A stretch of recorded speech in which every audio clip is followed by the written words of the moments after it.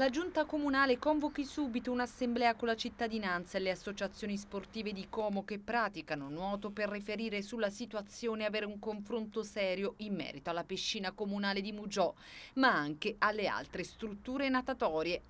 È l'appello che arriva dai consiglieri comunali del Partito Democratico Stefano Fanetti, Patrizia Lissi e Gabriele Guarisco sull'impianto chiuso ormai da sette mesi e sul quale presenteranno una mozione. Nel documento i DEM impegnano la giunta cittadina ad assumere le iniziative necessarie per la riapertura in tempi brevi della struttura di Mugiò e a programmare per il futuro gli interventi strutturali necessari e le procedure di rinnovo delle forme di gestione della piscina, in modo da evitare il ripetere avverarsi di un'interruzione prolungata dell'attività. Finora, aggiungono infine i consiglieri del PD, le scadenze indicate dalla Giunta Comunale per la conclusione in tempi brevi di un nuovo accordo con la Federazione Italiana Nuoto sono state disattese. Il 10 gennaio le associazioni sportive e la cittadinanza, manifestando pubblicamente il loro malessere per la chiusura dell'impianto, hanno espresso la richiesta di un confronto con l'amministrazione comunale, ancora però non avvenuto.